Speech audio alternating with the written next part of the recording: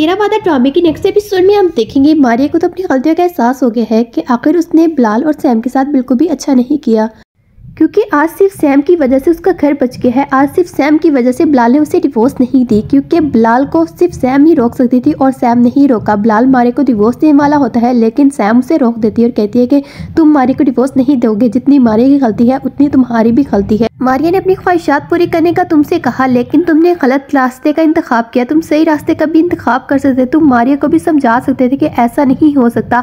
जितना हम लोगों के पास है, हम उसी में खुश रह सकते हैं, लेकिन तुमने मारिया को भी नहीं समझाया और खुद भी नहीं रुके। तुम्हें तो सिर्फ़ पैसे ने अंधा कर दिया था। इसी वजह से मैं तुमसे चाहती हूँ कि तुम मारे को डिवोर्स नहीं दोगे। जितनी मारे की गलती है, उतनी तुम्हारी भी गलती है।